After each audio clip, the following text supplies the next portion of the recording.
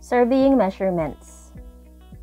The purpose of this section is to discuss the different types of surveying measurements, identify error sources, and describe procedures to minimize errors. And the five common types of survey measurements are horizontal distances, horizontal angles, vertical distances, vertical angles, and slope distances. And to give you some idea how vertical distance and horizontal distance look like, kindly refer in figure 3-1. Horizontal and vertical planes. Angles and distances are measured relative to either a horizontal or vertical plane. The horizontal plane is a level surface radiating outward from the point of observation and is perpendicular to the vertical axis. The vertical axis, or also known as the plumb line, is always parallel to the direction of gravity. The vertical plane runs in a direction parallel to the vertical axis and perpendicular to the horizontal plane. A vertical plane is established whenever the instrument rotates along the horizontal plane along the horizontal plane to face a new direction. Horizontal distances and angles. A linear measurement on the horizontal plane determine the horizontal distance between two points. However, the true horizontal distance is actually curved like the Earth's surface, as seen in figure 3-2. Due to this curvature, the direction of gravity is different at each point.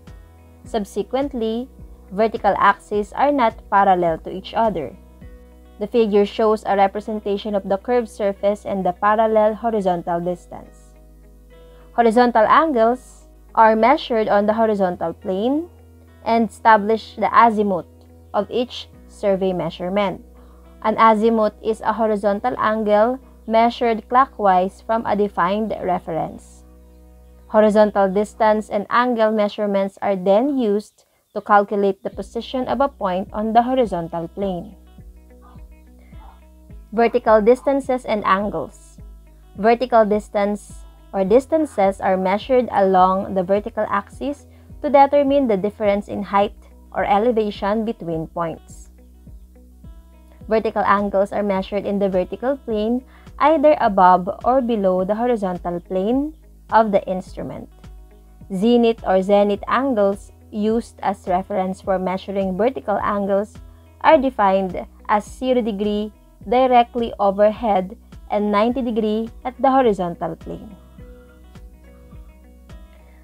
Slope distance. The slope distance is the shortest distance from the instrument to the target point. This distance is the hypotenuse of the horizontal and vertical distances. The horizontal and vertical distances can be calculated if the slope distance and vertical angle is known. In measuring, accuracy and precision must be observed. But what is accuracy and what is precision? Accuracy is the degree of conformity of a given measurement with a standard value, while precision is the extent to which a given set of measurements agree with their mean. Accuracy and precision are two different yet equally important surveying concepts. And these concepts are illustrated in figures 3-3 through 3-5 with a target shooting example. In figure 3-3, all five shots are closely grouped, indicating good precision due to the degree of repeatability. However, the accuracy is poor because the shots are far from the center of the target. In figure 3-4, the five shots appear randomly scattered about the target indicating neither accuracy nor precision.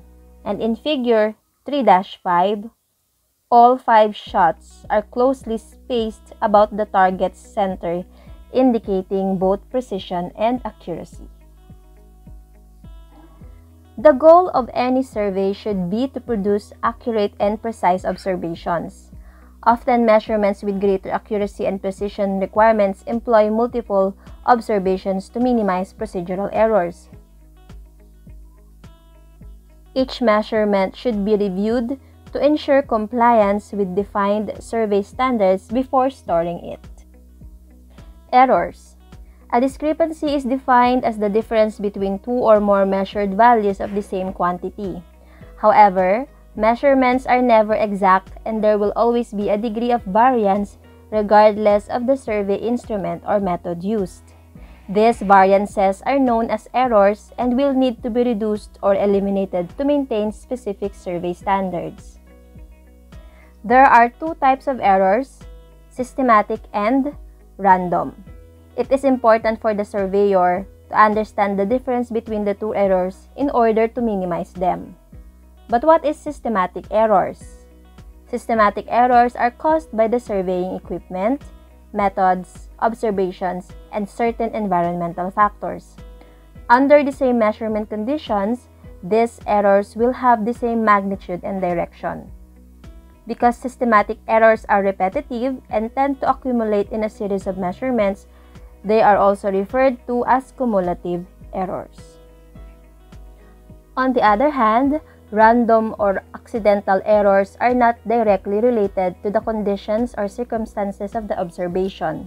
For a single measurement or a series of measurements, it is the error remaining after all possible systematic errors have been eliminated.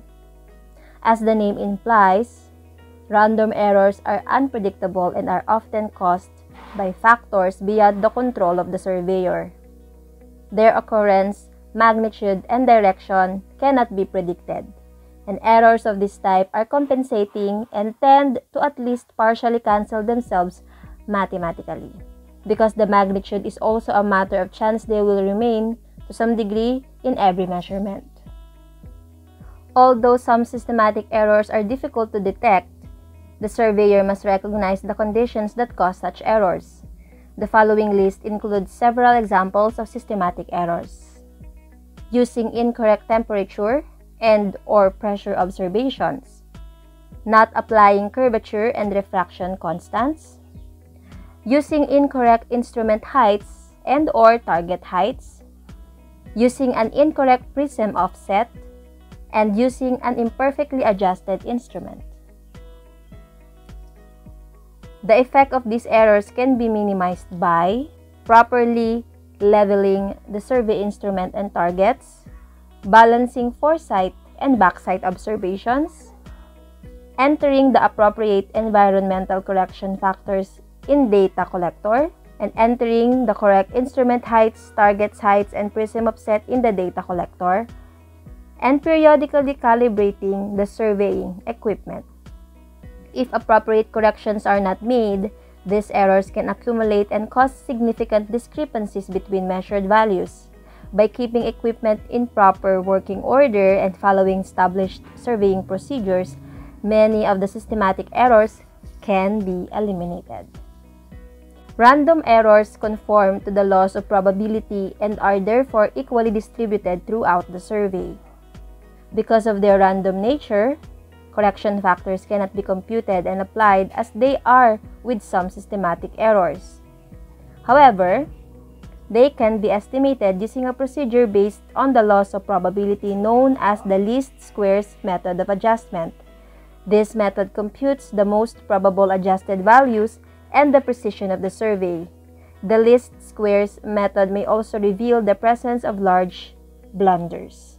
Common error sources are natural errors, instrument errors, human errors. Natural errors. These are caused by environmental conditions or significant changes in environmental conditions. Wind speed, air temperature, atmospheric pressure, humidity, gravity, earth curvature, and atmospheric refraction are examples of natural error sources. Many of these environmental conditions can be compensated 4. By applying a correction factor to each measurement. Commonly used correction factors are the parts per million or ppm and curvature and refraction constants. Instrument errors. Instrument errors are caused by imperfectly constructed, adjusted, or calibrated surveying equipment.